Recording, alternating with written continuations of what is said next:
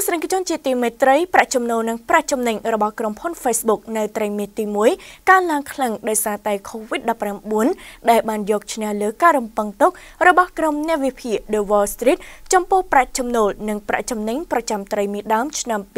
2021សូមជម្រាបថាកំឡុងពេលនៃការទូឡើងជំងឺ COVID-19 បានធ្វើឲ្យ Facebook រកប្រាក់ចំណូលបានច្រើននិងកើនឡើង48%ដោយសារតែមានអតិថិជនជាច្រើនបានចាយលុយនៅក្នុងការបូសនៅផលិតផលនិងសេវាកម្មរបស់ខ្លួន។ក្រុមហ៊ុន Facebook បានយកឈ្នះលើការរំពឹងទុករបស់ក្រុមអ្នកវិភាគ Wall Street ចំពោះប្រាក់ចំណូលនិងប្រាក់ចំណេញប្រចាំត្រីមាសដើមឆ្នាំ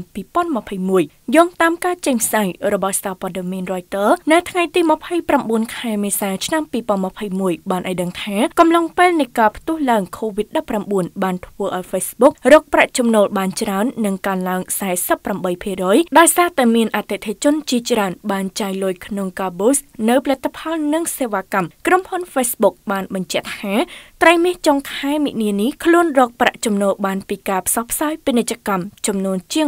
26,000លានដុល្លារអាមេរិកខណៈប្រាក់ចំណេញសុទ្ធមានចំនួន